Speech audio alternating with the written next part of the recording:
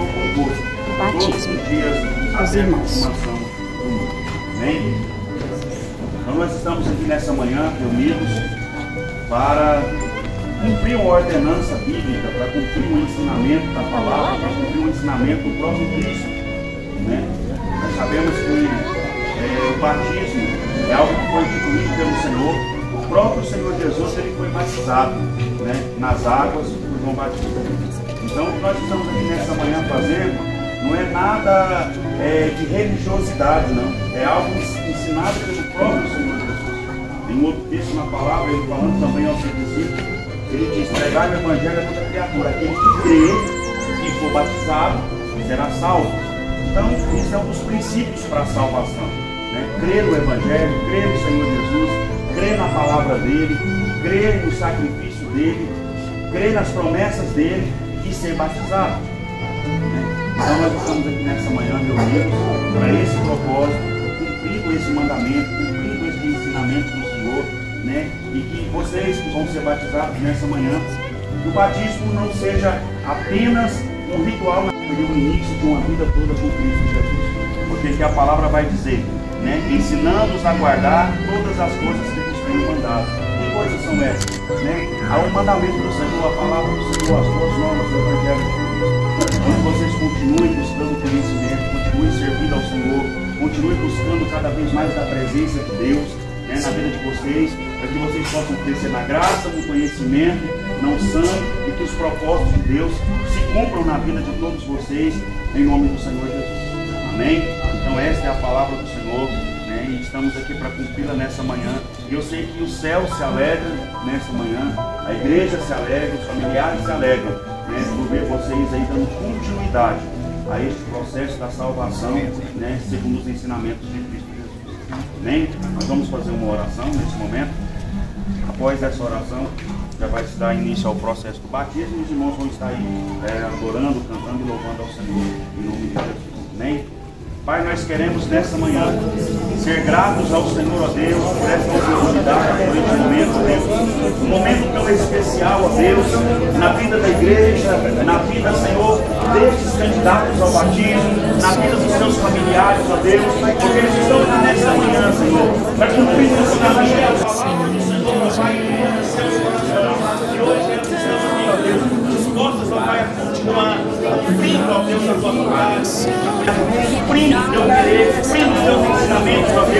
Pai, nas águas, ó Deus, batizando, ó Deus, deixando morrer o velho homem, nascendo, ó Deus, uma nova criatura, Pai, e na, de acordo com a tua palavra, de acordo com a tua vontade, de acordo, ó Deus, com o teu querer, Pai, que assim seja, na vida delas, ó Deus, na vida dos candidatos, a partir de hoje, ó Deus, que o Senhor continue abençoando, continue fortalecendo, ó Deus, que esta manhã seja um marco na vida deles, para a glória do teu santo nome. Assim nós oramos, ó Deus, em nome de Jesus. Amém? Amados, é, nenhum de vocês estará descendo as águas por obrigatoriedade. Nenhum de vocês estará descendo as águas por imposição. Vocês estão descendo as águas por escolha, por decisão de vocês. Entender a palavra, compreender a palavra. Vocês fazem parte de uma comunidade cristã, evangélica, Assembleia de Deus, Ministério da Nápoles. Também voluntariamente, não por obrigação ou por imposição. Quando decidirem descer as águas, a igreja terá a responsabilidade quesito espiritual com a vida de vocês. Vocês conhecem quais são as normas da igreja, quais são os princípios da igreja, são sabedoras. Sendo vós sabedoras disso, sabem que é necessário que haja um princípio de obediência. Então, um dos objetivos nossos é essa consciência de você falar: eu quero, eu estou disposto a me batizar, porque eu creio na palavra, eu acredito na palavra, e a palavra precisa se cumprir em mim. Então hoje vocês estarão permitindo a palavra de Deus cumprir em vocês conforme foi pelo pastor. Mas esse cumprimento é algo que vocês estão dizendo, eu quero, e não o que alguém está dizendo, você tem que fazer. ou você tem que se batizar, ou você tem que ser membro Então, por ser um ato voluntário, é preciso que tenha consciência nesse sentido da, da obediência, né, do comprometimento, do envolvimento em que vocês já estão envolvidas e prosseguir com essa vida é, na presença de. Alguns de vocês, os familiares, não são todos membros da nossa vida. Semelhantemente, também são conscientes de que vocês estão descendo as águas. Porque para descer as águas é necessário que haja uma consciência, uma concordância da família, né? dos pais, né? das pessoas responsáveis. Por quê? Porque tem que haver entendimento de que vocês, se tornando membros da igreja, têm responsabilidades na igreja que vocês congregam. Se a família não tiver consciência disso, você terá dificuldade em cumprir o seu papel como cristão, né? de cumprir o seu papel como membro da igreja, de estar envolvido com a obra da igreja. A igreja ela tem uma vida, assim como toda família tem, mas a igreja tem uma vida e nela ela é uma vida muito dinâmica, de eventos, festividades né? e uma série de outros fatores que fazem parte da igreja. E aí a consciência de que vocês, sendo membro, parte desse corpo, também precisa estar envolvido trabalho. Isso chama-se vida na igreja.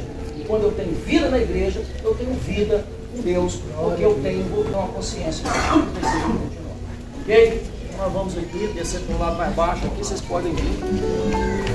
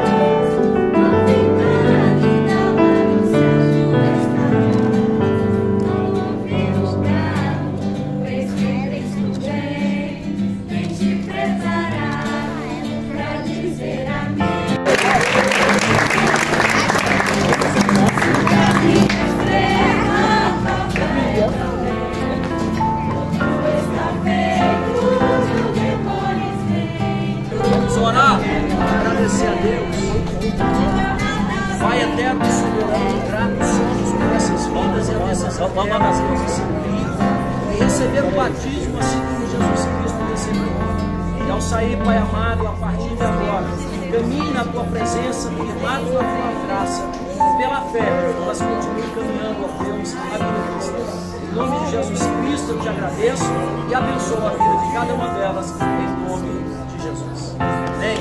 Deus abençoe.